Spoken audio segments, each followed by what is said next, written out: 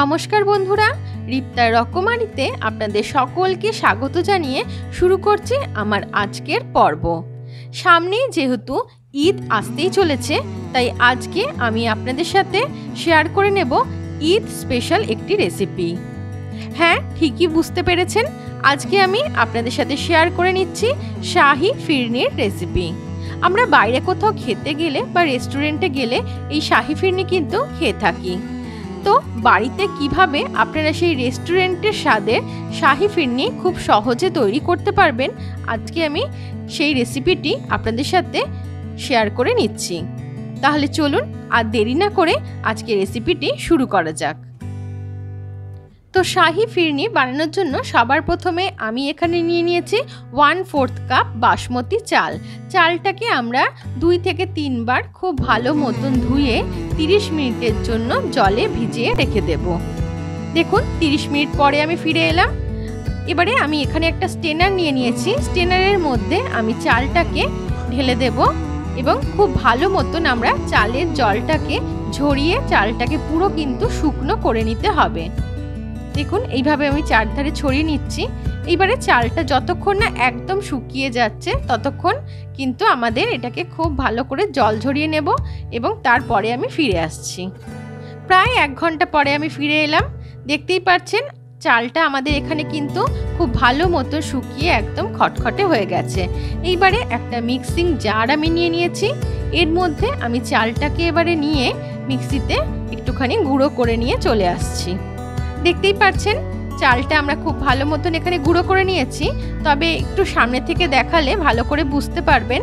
দেখুন, চালটাকে কিন্তু আমি একদমই মিহি পাউডার করে কিন্তু মিক্সিতে ব্লেন্ড করিনি, একটুখানি দানা দানা রেখে কিন্তু আমাদের চালটাকে গুঁড়ো করে নিতে হবে। খুব বেশি পাউডার করে ফেললে কিন্তু চলবে না। তো এবারে আমরা নেক্সট প্রসেসটা শুরু করব। এখানে আমি একটা জায়গা গরম করতে বসিয়ে দিয়েছি। এর মধ্যে দিয়ে দিলাম টু টেবিল স্পুন ঘি। ঘিটা একটু মেল্ট হতে শুরু করলে আমি এখানে দিয়ে দেব এক লিটার ফুল ক্রিম দুধ। এইবারে ফ্লেমটাকে মিডিয়ামে রেখে আমরা দুধটাকে খুব ভালো করে জাল করে নেব। দেখতেই পাচ্ছেন, দুধটা কিন্তু আমাদের জাল করতে করতে খুব ভালো মতো ফুটে উঠেছে। এইবারে আমি এখানে দিয়ে দেব বেশ কিছুটা কেশর বা স্যাফরন। এতে কিন্তু ফিরনির টেস্ট এবং কালার দুটোই খুব সুন্দর হবে।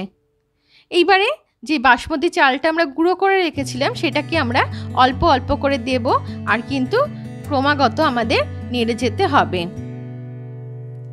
এটা কিন্তু একটু একটু করে দিয়েই নাড়তে হবে, না হলে কিন্তু একসাথে সবটা দিয়ে দিলে চালের গুঁড়োটা কিন্তু নিচে গিয়ে কিন্তু দলা পাকিয়ে যেতে পারে।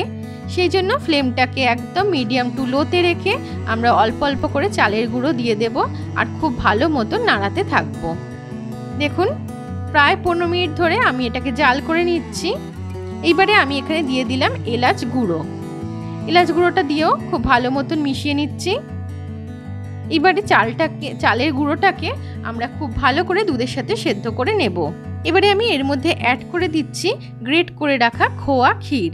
এখানে আমি পঁচাত্তর গ্রাম খোয়া ক্ষীরকে ভালো মতন গ্রেট করে নিয়েছি। খোয়া ক্ষীরটা দেওয়ার পরেও আমরা খুব ভালো করে মিশিয়ে নিচ্ছি। এবারে আমি এখানে দিয়ে দেব স্বাদ মতো চিনি। আপনারা যে যেরকম মিষ্টি খেতে পছন্দ করেন, সেই অনুযায়ী এখানে চিনির ব্যবহারটা করবেন। আবারও খুব ভালো করে আমরা এটাকে নেড়ে যাব। দেখতেই পাচ্ছেন, আমাদের ফিরনি কিন্তু প্রায় হয়েই এসছে। আর এটা কিন্তু এখন অনেকটাই গাঢ় হয়ে গেছে। এইবারে আমি দিয়ে দিচ্ছি এর মধ্যে আমন্ড কুচি, দিচ্ছি কাজু বাদাম কুচি আর দিয়ে দেব কিছুটা পেস্তা কুচি। এবারে সব কিছুকে আরও একবার খুব ভালো করে মিশিয়ে নেব। দেখুন, আমাদের কিন্তু শাহি ফিরনি হয়ে গেছে। ঠিক এই রকম কনসিস্টেন্সি রেখে কিন্তু আমরা ফিরনিটাকে নামিয়ে নেব। কারণ রুম টেম্পারেচারে আসার পরে কিন্তু এটা আরও একটুখানি গাঢ় হয়ে যাবে। তো শাহি ফিরনি আমাদের একদমই রেডি আমরা এবার এটাকে নাবিয়ে নেব। কিন্তু যেহেতু শাহি ফিরনি সেই জন্য একটা শাহি টাচ না হলে চলে না। তাই নাবানোর আগে আমি এর মধ্যে দিয়ে দিচ্ছি one tablespoon kewra water kewra water বা কেওড়া জলটা দেওয়ার পরে আমরা আরও একবার ভালো করে মিশিয়ে নেব আর দু থেকে তিন মিনিট স্ট্যান্ডিং টাইমে রেখে দেব। দেখুন, আর ফিরনিগুলোকে সার্ভ করার জন্য আমি এখানে চারটে এরকম মাটির খুঁড়ি নিয়ে নিয়েছি।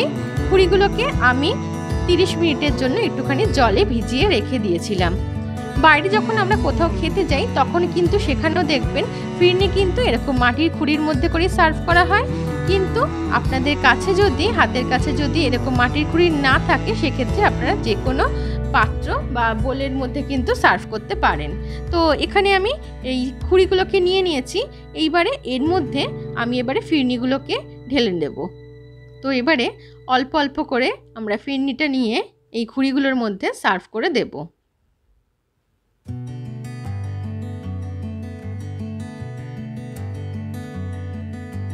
তো দেখতেই পাচ্ছেন, প্রত্যেকটা খুঁড়ির মধ্যে কিন্তু আমি ফিরনিগুলো সার্ভ করে দিয়েছি। এবারে উপর থেকে একটুখানি গার্নিশ করে দেব। তার জন্য দিয়ে দিচ্ছি একটুখানি আমন্ড কুচি, একটুখানি পেস্তা, আর দিয়ে দেব সামান্য একটু কেশর। এইবারে এগুলোকে আমরা সম্পূর্ণ রুম টেম্পারেচারে ঠান্ডা করে নেব। তারপরে কিন্তু আমরা এটাকে ছ থেকে সাত ঘণ্টা বা ওভারনাইটের জন্য ফ্রিজে রেখে দেব ঠান্ডা হওয়ার জন্য।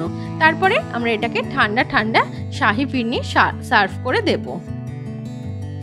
তো দেখুন, আমি এইভাবে ফিরনির যে খুঁড়িগুলো ছিল সেগুলোকে এইভাবে ফয়েল পেপার দিয়ে কভার করে আমি ওভারনাইটের জন্য ফ্রিজে রেখে দিয়েছিলাম।